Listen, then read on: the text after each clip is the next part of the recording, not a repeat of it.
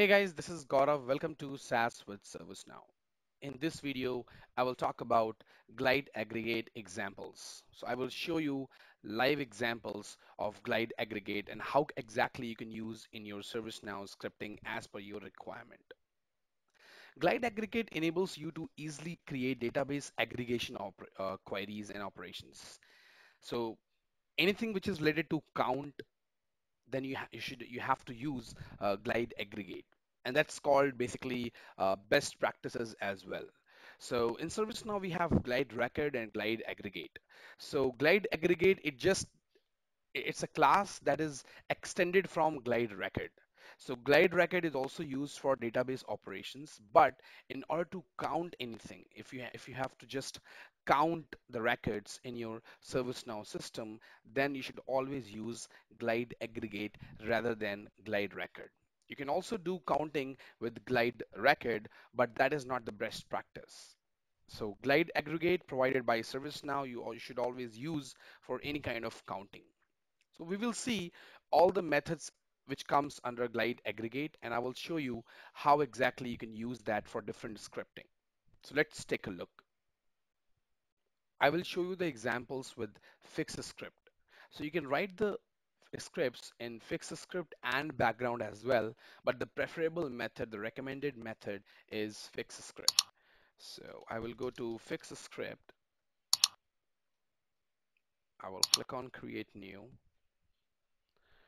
and I will give the name demo for glide aggregate. Now for glide aggregate, you have to create a glide aggregate object first. Like we do in glide record, you have to create a glide uh, aggregate object. So, and we do with var variable, I will mention count equal to new and here you will put glide aggregate. And braces and then you have to give the table name. Here you have to put the table name. So I mentioned incident. Now you have to give some conditions around it. Now there are a lot of methods for this glide aggregate. So the first method is add aggregate. So what we will do we will do count dot. The first method you can see when I entered dot, so it is showing me all the methods which can be used with this glide aggregate. So I have mentioned add aggregate. I will press tab on my keyboard and then I will give parameter uh, as count.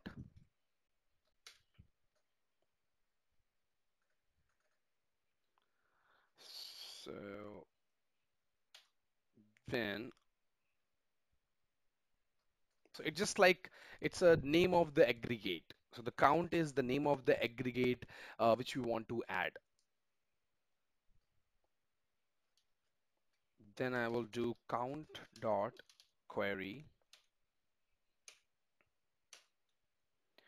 And I will just check that where incidents is equal to zero. I'm just declaring because I need to check the incident count. So I'm just declaring a variable with mentioning uh, as zero because it will keep on adding that value to incident. So I'm just declaring my incidents variable. That's it. And then I will use if and I will do count. So it's similar to glide record, but it's just a different method just for counting.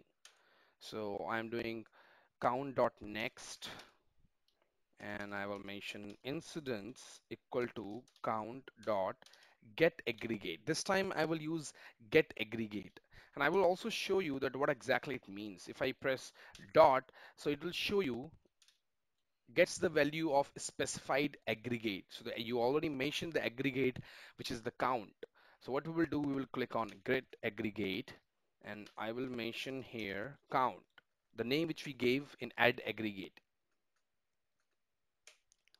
and then I will just do gs.print it just to show the uh, output that's it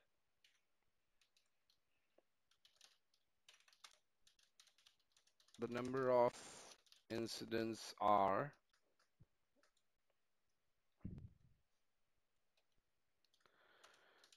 I will give the same variable which we used, which we declared earlier. So that is incidents. And then I will colon and I will save this. So this is how you declare a glide aggregate object and then you use add aggregate method to count the number of records in a table.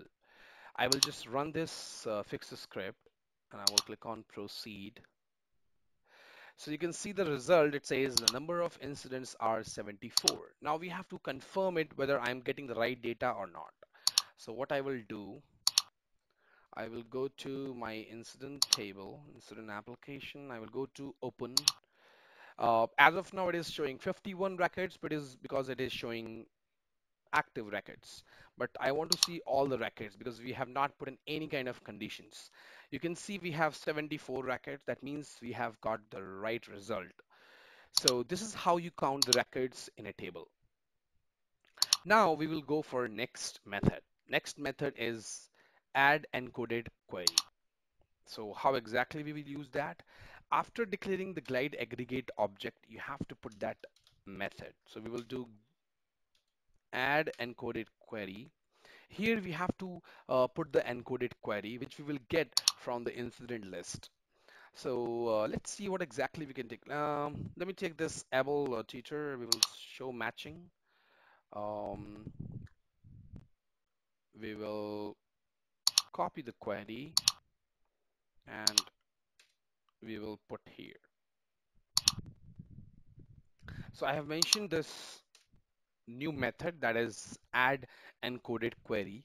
I will save this fix script. I have not changed anything. I have just added a more condition here with add encoded query.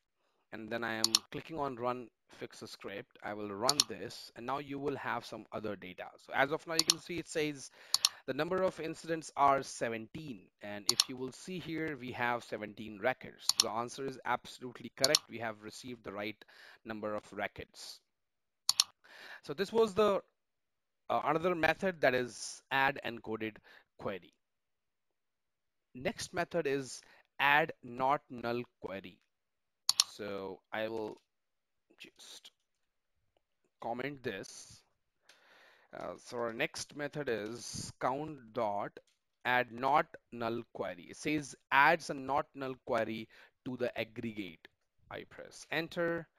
So what it will do, it will put a condition that as any field which we are which are going to mention here, it's not it's not the null basically. That's that's the main uh, usage of uh, this particular method. So it says add not null query uh, I can put any uh, field here, but before that we can see what field uh, will be better. Um, we can take uh, assign to maybe. So I will do uh, show matching. And you can see it says assign to is empty, right? So as of now, these incidents will not be coming. So maybe I can do one thing. I can filter it out. So it says assign to is not empty. That means assign to is not null. So I will go here and I will just put the name of the incident. So that is assign to. And I will put column. After putting that, I will just save it. So I saved it and I'm clicking on run, proceed. Let's see how much data we get. Say the number of incidents are 48. And if I go to the incident list, I am getting 48 number of its uh, incidents where assigned to is not null. So that's a method called add not null query. Let's check another method. Another method is add null query. So, so you must have seen that we are not changing any other other syntax. We are just changing the methods. And this is how you can utilize these methods to just as per your requirement. So whatever requirement you are getting from your uh, customer, from your client, just utilize these methods and, and fulfill your requirement uh, and use these methods. So the next one which I'm talking about that is uh, count dot add null query. That means any field which is empty. So what we can do this time, we can use the same field and I can mention the same field assigned to. So let's save this first. And I will run this fix script. When I will run this, it will show me other data and it's showing me the number of records are 26 now. And I will go to my incident list. I will click on all and this time this time I will select show matching. So if I am selecting assigned to uh, and it says 26 and here the same number of records are coming that is 26 so this is how you also confirm that you're getting the right data or not so whenever you are using these kind of uh, uh, methods you have to check it with your incident list or any table list as well, just to make sure that you are putting the right query. So if you're working on any script or you have some, yeah, you are working on a scheduled jobs or any business rule, make sure if you are going to uh, check glide records, uh, sorry, glide uh, aggregate, make sure you are checking um, on the list as well, just to confirm that you're getting the right number of records and your script is giving the right uh, data. So, um, so this is uh, the method uh, that is add null query. The next is add query that we also use in our uh, glide record. So I will just put here comment and then I will do count dot add query and we also use this in our, in our glide record um, I will see that what ex exactly what kind of records we can get. Uh, maybe you can go to the list view.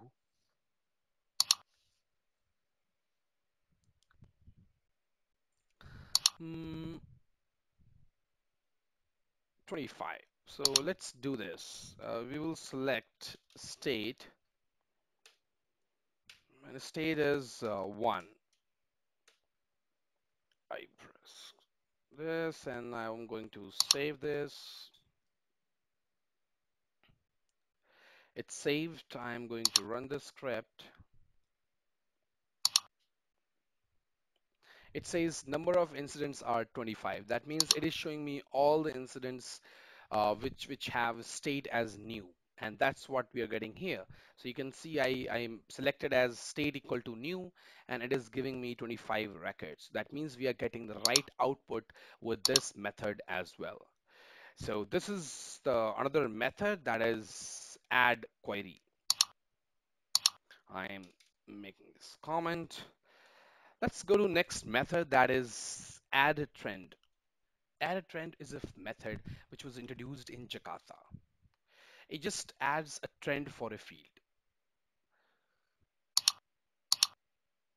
So you can put count dot add. As of now, I think ServiceNow has not added it in, in their script editor. So it says add trend and so as as per the method, the parameter which we mention here, it's a string field name, and you have to uh, mention the string time interval. So what I can do, I can see open underscore at that is opened time of uh, incidents, and I can put comma. And here you have to write what kind of time interval you want. Maybe you want it and the value which you have to mention here is year quarter date a week month day of week hour or value. That's what you have to uh, mention here. Value means the exact uh, time interval uh, value. As of now I will mention uh, month and we will see how exactly it gives you the data. So I have mentioned month uh, it will uh, count for the same incidents add query we are doing add aggregate. Uh, this time when we are using this add trend we have to uh, change our syntax as well. So this seems to be good. Let's let's just hide this for now. We will comment this just to show you the example. Uh, we will comment this. So I am putting the query. I'm also hiding this. So I'm making this comment. Now this time I'm not going to use if. I will use while. And I'm not going to print here. I will be printing here. Now, how exactly we want to see the data? So basically we want to see the trend. So the trend, the count of records which were opened as per the month. That's that's our data. That's what we want as per the current uh, syntax. So add uh, add trend, then you have to mention the field uh, on which you have to see that trend. And we want to see that trend monthly. That means opened opened uh, incident were opened monthly and we want to see the count of those incidents. What we will do, we will just do gs dot print. I will start this and I will mention trend dot get ah I'm doing trend sorry I will do count dot um, get value. And now this is what we need to use. You have to use this uh, this this particular it's a I would say it's not this is basically get value. When you put get value you have to uh, put the field name to get its value. But it's kind of a uh, it's kind of a field which you have to use when you are using this add trend and you have to use it so I will show you that if you will not use this field as well, we will we will see that uh, how exactly it works. So I'm using time ref. So this is the field. It's like an on-air field, I would say, just you to use when you are using this add a trend. So I'm using count dot get value time ref, and the reason it is putting those values from that month because we are putting month so it will show all the data monthly but it will show the month as well so I'm using time ref and I will put plus and I will put colon and I will do plus as well. And this time I'm not using this. So I will have count dot get aggregate count. This is absolutely right. And we will put one more brace here closing brace and this is done so this will print. Uh, so let's see what exactly it prints. We will see the data. So I will save this. And we will try to change the syntax and we will see what kind of data it is giving. When I click on proceed, so now you can see it is giving me the trend monthly. So this time, this this one which you are seeing, it is opened the, the incident which were opened in the same month. So it is saying 2015, 18, and, and showing the counts for that particular month. Now I'm closing this and what I will do, I will this, I uh, will mention this as year. So if I'm mentioning year and I am clicking on save and if I run the script again and click on proceed so now you can see it is showing me the data year wise. So it is showing me 15, 4, 2016, 4 incident, then 2018, 66 incidents. And if you will calculate all these, there will be 74. And we already calculated it earlier that we do have 74 overall incidents in this particular instance as of now. So you can change this value and you can get the data. You can also change this value, the, the kind of field. You, you can also mention created on or uh, sys updated on any field you want. So it is just, uh, it's a kind of a method which was given you just to use, uh, just use for trending and show that to see the trend of your uh, fields or of your any table. So that is the main requirement of this add trend. Thanks for watching my video. Please subscribe, like, and share.